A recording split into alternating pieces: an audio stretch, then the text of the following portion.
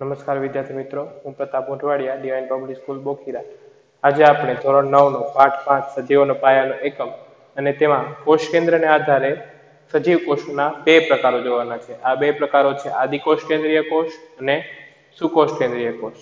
આ બંને પ્રકાર છે એ મુખ્યત્વે કોષ કેન્દ્ર પટલની કોષ કેન્દ્ર પટલ અને પટલીય અંગિકાઓની હાજરીના આધારે પાડવામાં આવેલા છે.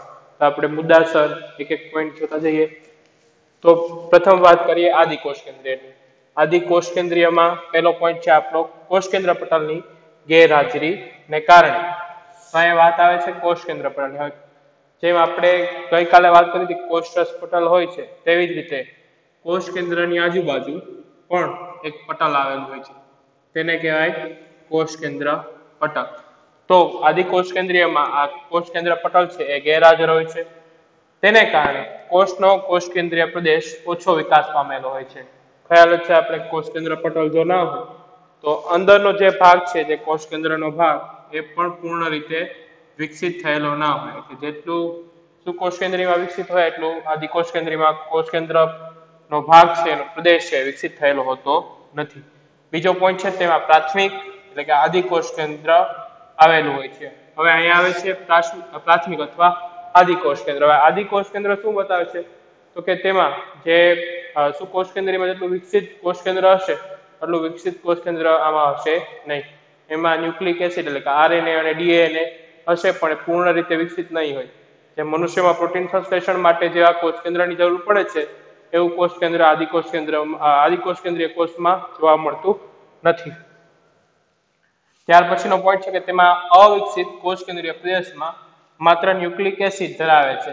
તેને ન્યુક્લિયોઇડ કહે છે. હવે અહીં આવે છે ન્યુક્લિક એસિડ. ન્યુક્લિક એસિડમાં મુખ્યત્વે બે પદાર્થોનો આપણે સમાવેશ કરીએ છીએ. આરએનએ અને ડીએનએ.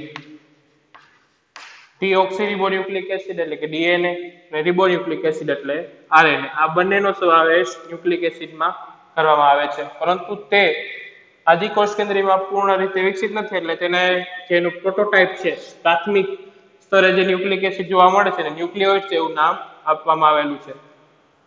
તેમાં કોષ કેન્દ્ર પટલ તેમજ પટલીય અંગિકાઓની ગેરહાજરી હોય છે. આ આપણો મહત્વનો પોઈન્ટ કે કોષ કેન્દ્ર પટલ, એ તો આપણે આગળ જોઈ ગયા કે શું થાય, અને પટલીય અંગિકાઓ, પટલીય અંગિકાઓની આપણે આગળના લેક્ચરમાં વાત કરી ગયા. કણાભસૂત્ર છે, કોષરસ પટલ છે લાઇસોઝોમ છે, એ બધી જ પટલીય અંગિકાઓ પણ અહીંયા ગેરહાજર હોય છે અને ઉદાહરણ લેવું હોય તો આપણે બેક્ટેરિયાના કોષને લઈ શકીએ. તો આ વાત થઈ. આદિ કોષ. કેન્દ્રીય કોષની હવે તેનાથી એક્ઝેક્ટ વિરુદ્ધ વાત આવે છે સુકોષ કેન્દ્રીય કોષની. તેમાં પહેલો પોઈન્ટ છે સેમ આનાથી વિરુદ્ધ કે તેમાં કોષ કેન્દ્ર પટલની હાજરી હોય છે. તેને કારણે સુવિકસિત કોષ કેન્દ્ર જોવા મળે છે. તો કોષ કેન્દ્રીય પ્રદેશ છે એ જોવા મળે છે. આ સુકોષ કેન્દ્રીયમાં કોષ કેન્દ્રિકા પણ હાજર હોય છે? કોષ કેન્દ્ર અને કોષ કેન્દ્રિકા વિશે આપણે ધોરણ આઠમાં ભણી ગયા. તે પણ અહીંયા હાજર હોય છે. બીજું તેમાં સુવિકસિત કોષકેન્દ્ર હોય છે? તેના પછીનો પોઈન્ટ તો કે તેમાં ન્યુક્લિક એસિડ અને પ્રોટીન ના બનેલા રંગસૂત્રો પણ હાજર હોય છે. આ બે વિશે ન્યુક્લિક એસિડ એટલે કે ડીએનએ અને રંગસૂત્ર વિશે આપણે ધોરણ આઠમાં ભણીએ, ફરી એકવાર રિપીટ કરી દઈએ કે રંગસૂત્ર અને ડીએનએ છે આપણી આનુવાંશિક, એટલે આપણા માતા પિતામાં જે લક્ષણો જોવા મળતા હોય તે એના પછીની પેઢીમાં, એટલે કે આપણામાં ઉતરી આવે તે માટે જરૂરી આ બે દ્રવ્યો છે.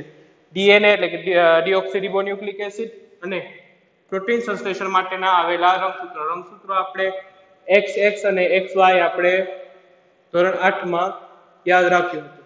જે મનુષ્યમાં લિંગ પ્રશ્ન હતો તેમાં આપણે જોયું હતું કે જો લિંગ સમયે એક્સ એક્સ હોય તો સ્ત્રી બાળક એટલે કે છોકરીનો જન્મ થાય અને એક્સ વાય હોય તો પુત્રનો એટલે કે છોકરાનો જન્મ થાય. તો આ બંને આપણા આનુવંશિકતામાં એટલે કે આપણા જે લક્ષણો છે આપણી આગળની પેઢીમાં, આપણા બાળકોમાં ઉતરી આવે તે માટે જરૂરી છે અને તે સુકોષ કેન્દ્રીય કોષના કોષ કેન્દ્રમાં જોવા મળે છે. છેલ્લો પોઈન્ટ છે આપણો કોષ કેન્દ્ર પટલ તેમજ પટલીય અંગિકાઓની હાજરી હોય છે. કોષ કેન્દ્ર પટલ અને પટલીય અંગિકાઓ. હવે પટલીય અંગિકાઓ વિશે પણ આપણે શીખી ગયા કે જે લાઇસોઝોમ છે રિબોઝોમ છે કણાભસૂત્ર છે તે બધાની હાજરી અહીંયા જોવા મળે છે. અને કોષકેન્દ્ર પટલ, જે કોષકેન્દ્રની આજુબાજુ એક પટલ, એક આવરણ આવેલું હોય તેની પણ હાજરી અહીંયા જોવા મળે છે. એના ઉદાહરણો આપણે લઈએ તો ઉદાહરણ તરીકે વનસ્પતિ કોષ અને પ્રાણી કોષ. Thank you